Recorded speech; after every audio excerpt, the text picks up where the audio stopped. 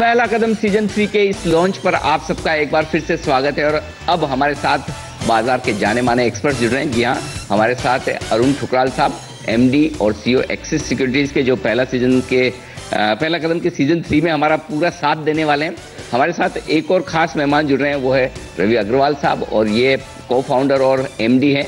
Global solutions के और ये भी हमारे साथ, सिग्नेचर ग्लोबल सॉल्यूशंस के, ये भी हमारे साथ इस बार पहला कदम के सीज़न थ्री में साथ देने वाले हैं और बाज़ार के जाने माने दिग्गज।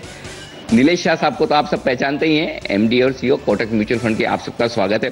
लेकिन जनरली हिंदुस्तान में तो हमारी आदत है कि जब तक हमारे सर पर छत ना हो, यानी कि घर ना हो, तब तक हम किसी और इन्वेस्टमेंट के बारे में सोचते नहीं और खासतौर से जब फाइनेंशियल इन्वेस्टमेंट की बात आए तो इस बार हमने एक और पार्टनर चुना है, वो है सिग्नेचर ग्लोबल और जो अफोर्डेबल हाउसिंग में एक बड़ा काम करते हैं।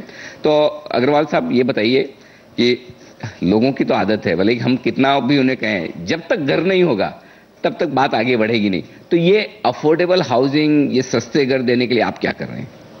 पहले तो मैं आपको धन्यवाद करना चाहूँगा सी एन आवाज़ को, जिनके माध्यम से हम अपनी आम आदमी तक अपनी आवाज़ पहुँचा सकते हैं।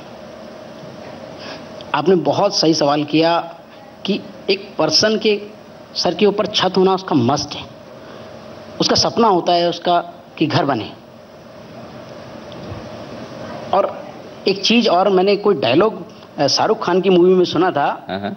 कि जब आप किसी चीज़ की इच्छा करते हैं हम्म। तो सारी कायनात ओम शांति ओम का हाँ, हाँ। उसकी तरफ़ आपको जब आप किसी चीज़ को बड़ी शिद्दत से चाहते हैं तो पूरी कायनात आपको उससे मिला इतना अच्छा- यही मतलब मैं इतना अच्छा तो नहीं बोल पा रहा हूँ शाहरुख जितना लेकिन कोशिश कर ली है। जी। तो शायद मोदी जी की पूरी कायनात आज जो लोगों की घर पाने की इच्छा है जी। उसकी उनकी पूरी कायनात आपकी तरफ़ उसको घर पाने की इच्छा को पूरी करने में लगी हुई है। एक छोटा सा मैं डाटा शेयर करना चाहूँगा आपसे कि आज middle class urban population India में करीबन पौने दो करोड़ लोग ऐसे हैं हाउस होल्ड्स ऐसे हैं जिनके सिर पे छत नहीं है। मोदी जी ने अपना एक मिशन बनाया हाउसिंग फॉर ऑल 2022 राइट जिसमें करीबन छः करोड़ हाउस होल्ड्स को एंटायर इंडिया लेवल पे घर देने की कोशिश पौने दो करोड़ लोग अर्बन एरिया में आते हैं जो पौने दो करोड़ हाउस होल्ड्स हैं यानी कि लोग लोग करीबन ग्यारह करोड़ लोग हो गए। अगर पाँच लोग भी एक हाउस होल्ड में माने हम। हम्म। और प्रकाश जी ये अर्बन जो पॉपुलेशन है ये लगातार हर साल एक सवा करोड़ लोग बढ़ रहे हैं।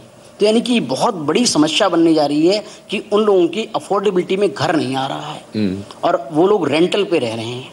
आई थिंक सो इस टाइम गवर्नमेंट ने अपनी पूरी ताकत उस अफोर्डेबल हाउसिंग की तरफ़ झोंक दी है। आप देखिए डीमोनेटाइजेशन जब आया तो 31 दिसंबर को लोग वेट कर रहे थे कि मोदी जी बोलेंगे मित्रों और उसमें कुछ ऐसा बोलने वाले हैं जो लोगों को चौंकाने वाला है। लेकिन उस दिन भी क्या बोलते हैं? अफोर्डेबल हाउसिंग के लिए वो प्रधानमंत्री आवास योजना के अंदर सीएलएस स्कीम में लोगों के इंटरेस्ट बेनिफिट की बातें करते हैं।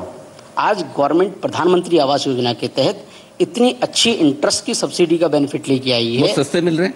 हाँ बिल्कुल। और पैसे भी कम लग रहे हैं। बिल्कुल। अच्छा तो ये ये मैं डिटेल आपसे पूछने वाला हूँ। वाकई में अफोर्डेबल हाउसिंग कितनी अफोर्डेबल है?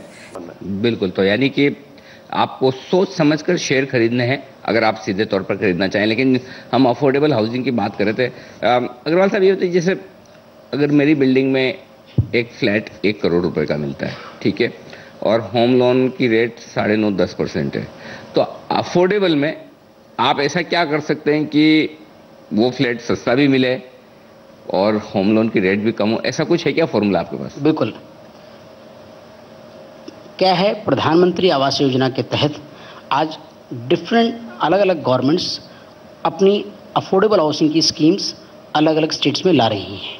आज आप हरियाणा में देखिए, हरियाणा में हरियाणा अफोर्डेबल हाउसिंग स्कीम अलग से लाई हुई है, जिसके अंदर जो कॉस्ट ऑफ़ फ्लैट है जो सेम विसिनिटी में हम्म। लाइक आप गुड़गांव की अगर मेन की बात करें गुड़गांव में जहाँ पर 70 लाख रुपए का फ्लैट आता है हरियाणा अफोर्डेबल हाउसिंग पॉलिसी के तहत वहाँ वही फ्लैट 25 लाख रुपए मिल रहा है।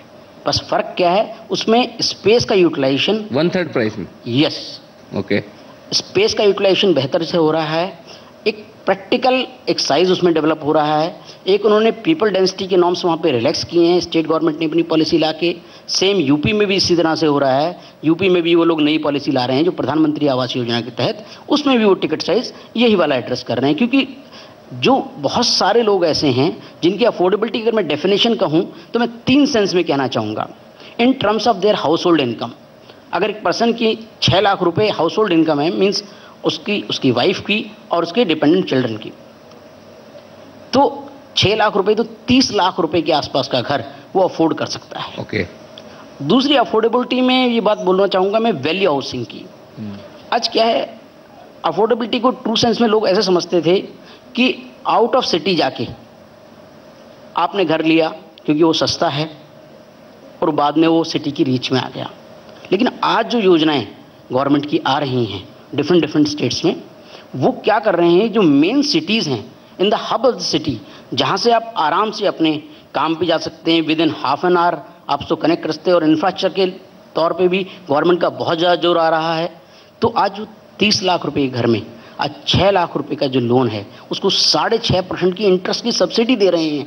आज साढ़े छः परसेंट सब्सिडी है। सब्सिडी दे रहे हैं। इंटरेस्ट कितना होगा? अगर साढ़े आठ परसेंट का इंटरेस्ट माना जाए हम्म। और साढ़े छः परसेंट की इंटरेस्ट सब्सिडी मानी जाए तो उसके 20 साल के टेन्योर में करीबन दो लाख सड़सठ हज़ार रुपये का बेनिफिट उसको आ रहा है।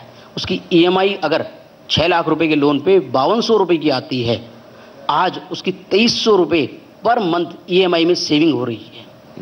प्लस तीसरा अफोर्डेबिलिटी के सेंस में एक बात और कहना चाहूँगा साइजिंग एक अभी लास्ट वाले बजट में, उससे भी पहले एक बजट में चेंजेस भी लेके आए लोग। एट्टी आई करके एक सेक्शन लेके आए हैं, जो अफोर्डेबल हाउसिंग को टैकल करता है। जिसके अंदर उन्होंने दो डिफाइन किया। 30 square metre carpet area within metro cities and out of that 60 square metre carpet area यानी कि जो उनकी ऑप्टिमम यूटिलाइजेशन के बेस पे लोगों की डेली बेस की जो नीड है उसको पूरा करता है। और उसको प्रधानमंत्री आवास योजना के साथ उन्होंने जोड़ दिया। प्रधान अभी इन्होंने प्रधानमंत्री आवास योजना के तहत तीन कैटेगरीज को डिफाइन किया। E W S lower income group M M I G group उसका उसके इनकम के क्राइटेरिया से उसका लिंक कर दिया.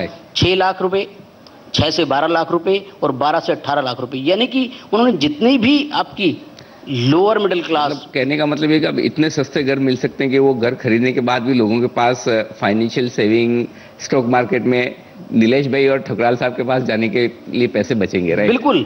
आज तो- उसकी जो ईएमआई बच रही जी, है। जी। तेईस सौ रुपए पर मंथ की ईएमआई बच रही है। वो एसआईपी में जाके इन्वेस्ट करें ले लीजिए के हाँ, पास तो मल्टीपाई फैक्टर उसको इम्पेक्ट करेगा। एग्जैक्टली तो एक तरह से आपके लिए घर भी हो गया और घर होने के बाद पैसे